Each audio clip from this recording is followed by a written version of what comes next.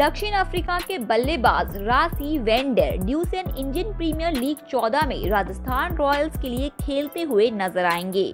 उन्हें star allrounder Ben stocks के स्थान पर लीग के बाकी बचे मैचों के लिए टीम में शामिल किया गया है।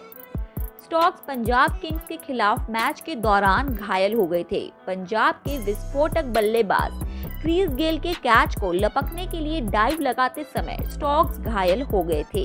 उनकी उंगली में फ्रैक्चर है और वे इस सीज़न से बाहर हो चुके हैं। दक्षिण अफ्रीका के रासी वेंडरसन ड्यूसेन शानदार फॉर्म में चल रहे हैं। दाएँ हाथ के इस बल्लेबाज ने हाल ही में हुई पाकिस्तान के खिलाफ टी ट्वेंटी और वनडे सीरीज़ में अच्छा प्रदर्शन किया था। उन्होंने दो वनडे मैचों में 183 और दो टी मैचों में 86 रन जड़े थे। टी में उनका स्ट्राइक रेट 153.57 का था। हालाँकि ड्यूसेन के टीम से जुड़ने को लेकर राजस्थान का अब तक कोई आधिकारिक बयान नहीं आया है। तो दोस्तों, आपकी क्या राय है इस खबर के बारे में कमेंट सेक्शन में लिख के हमें ज़रूर बताएँ। साथ ही वीडियो को लाइक करें, अपने फ्रेंड्स और फैमिली के साथ इसे शेयर करें और चैनल को सब्सक्राइब करें।